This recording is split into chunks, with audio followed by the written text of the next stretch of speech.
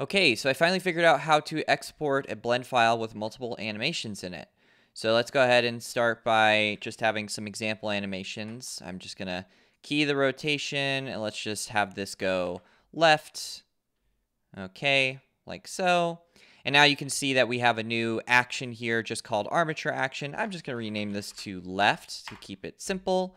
Um, we also want an action for going the other way too, so I'm just going to press this button to create a new action. It's just a clone, and then with this clone, I'm going to call it right, and I'm going to select this, and then just invert it. So goes right. So right goes right, and left goes left. Now, in order for these both to be recognized by Unreal uh, through like the blend file importer, what you're going to need to do is flag these as assets. So if we go to, whoops, where is it? Okay, mark as asset for left, mark as asset for right.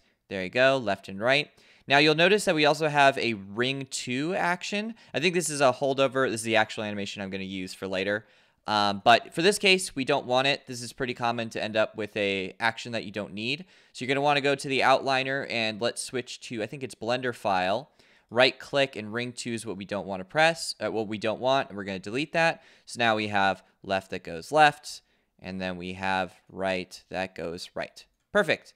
So now I'm going to save, go back to Unreal. I'm going to import, select our file. Okay, and the default settings are fine. All right, so I'm going to sync in our skeleton. I'm going to adjust the scale. It does need to be 300 in this instance. Import all, and just like that, you can see that the names we chose for the actions show up. So if I go to right, you can see it goes right.